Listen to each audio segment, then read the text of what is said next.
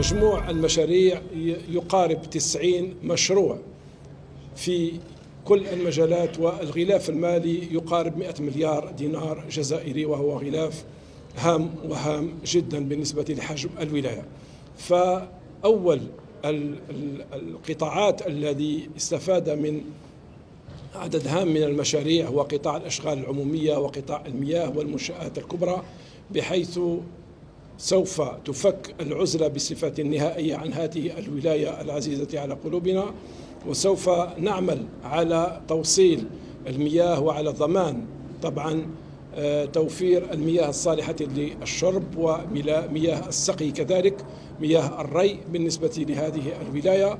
ففك العزلة وتوفير هذه المادة الحساسة هي أول آه، من أولويات الأهداف بالنسبة للدولة ثم هناك قطاعات أخرى استفادت من أغلفة مالية إن كان قطاع السياحة وقطاع الفلاحة والتنمية الريفية قطاع الثقافة قطاع التعليم العالي قطاع التربية قطاع الداخلية كذلك. هناك قطاعات أخرى استفادت من أغلفة مالية من أجل إعطاء هذا البعث النهضوي لهذه الولاية الفتية خاصة قطاع البيئة والطاقات المتجددة قطاع الطاقة والمناجم كذلك.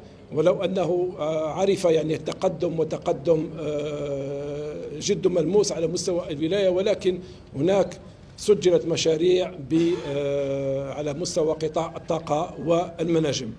إذا هناك 17 قطاع وزاري استفاد من أغلفة وأظرفة مالية وميزاناتية من أجل تحقيق هذا النمو وتجسيد هذا النمو المرجو بالنسبة لهذه الولاية كما أراده السيد رئيس الجمهورية في برنامجه وفي التزاماته.